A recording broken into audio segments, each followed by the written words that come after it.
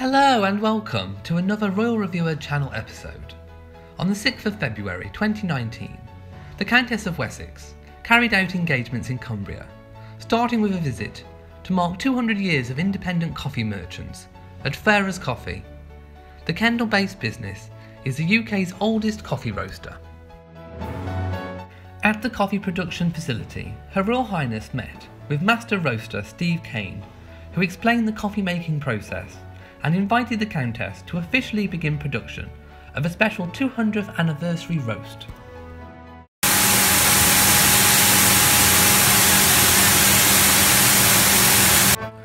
During the visit, the Countess also opened the new Wessex Training Suite, where Her Royal Highness found out more about the coffee training courses offered by barristers Brian and Ash.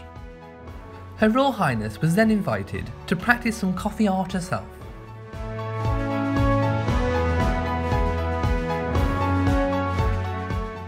In Cumbria, the Countess also visited Bendrigg Trust, an outdoor learning centre for people with disabilities. During the visit, Her Royal Highness met local children benefiting from the adventure projects offered by the Trust. Finally, the Countess attended the judging of the Westmorland Agricultural Society's annual silage competition. Her Royal Highness became president of the society last year. Silage is grass or other green fodder stored as animal feed, for use in the winter, and is a vital resource in farming. The Countess met with some of the 100 exhibitors involved in the silage competition at Lord's Plain Farm, the largest competition of its kind in the UK.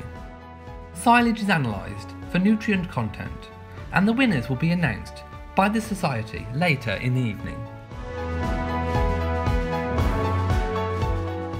Before departing, Her Royal Highness also visited some of the newest additions to Lord's Plain Farm. The Countess is a keen supporter of agriculture and is also patron of the Association of Show and Agricultural Organisations, the official body representing the UK's varied range of agricultural events.